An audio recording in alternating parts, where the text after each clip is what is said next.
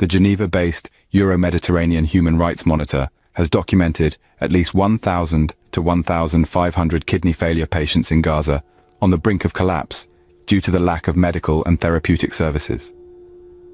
The organization reported that there are thousands of people with chronic and serious diseases in the besieged strip, including kidney failure patients who face a slow death amid Israel's genocide of Palestinian civilians in Gaza, ongoing since the 7th of October 2023. Nearly 60 kidney failure patients are at risk of death at any moment, and at least 20 others have already died, following their inability to receive adequate treatment as a result of Israel's ongoing military attacks, Euromed said.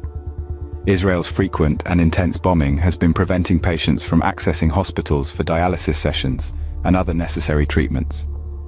With fuel shortage and electricity being cut by the regime, people have been unable to obtain salt-free water, increasing complications for patients undergoing dialysis. The human rights group said the total lack of electricity has caused the desalination plant that typically pumps water to Gaza's Al-Shifa hospital to go out of service. This has affected the hospital's small number of dialysis machines, some of which have broken down, making it impossible for patients to receive the healthcare they desperately need. Patients are forced to receive dialysis sporadically, based on hospital schedules rather than on their medical needs. Shifa is estimated to be treating about 40 patients with kidney failure at a rate of two sessions per week. Before the ongoing Israeli military attacks, the hospital was treating 450 patients. Israel's weaponizing starvation in the Gaza Strip that has resulted in full-scale famine has worsened the suffering of kidney failure patients as they are unable to access nutritious food.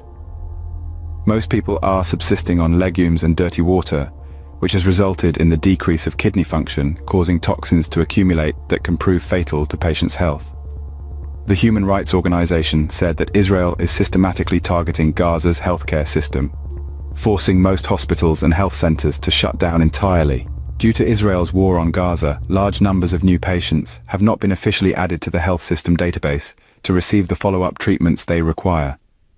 Prior to the regime's military assault, the Health Ministry of Gaza had declared that there was a critical shortage of medical care for kidney failure patients. The ministry had stated that it was offering 13,000 dialysis sessions per month in six centers across the Gaza Strip, and that the supplies it had on hand, such as blood transfusion tubes, cannulas, and dialysis filter, were almost completely depleted. Euromed urged the international community to act swiftly and force Israel to end its genocide against the Palestinians in Gaza.